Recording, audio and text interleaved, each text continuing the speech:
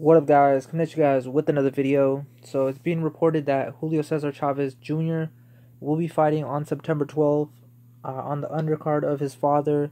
Now his father is gonna have an exhibition uh, match, the third um, fight with with Arce. And if you haven't already watched the two first fights, those fights are pretty good. I'm not even gonna lie for like for both their guys' age. If Roy Jones versus uh, Mike Tyson's anything like that, it should be entertaining but their fight is going to be pretty much for charity.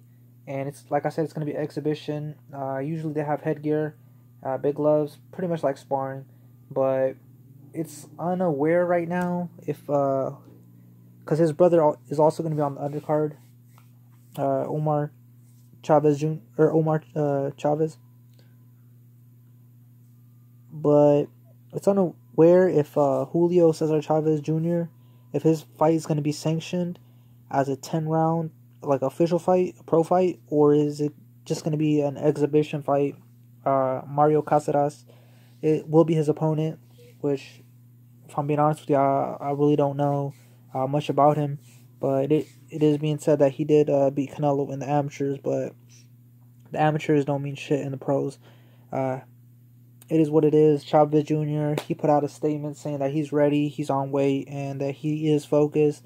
But how many times have we heard Chavez Jr. say that?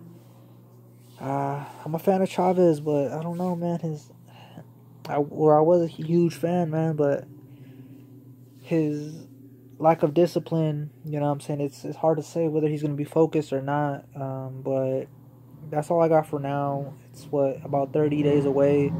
So I, if I get any more info, I'll for sure for sure keep you guys updated.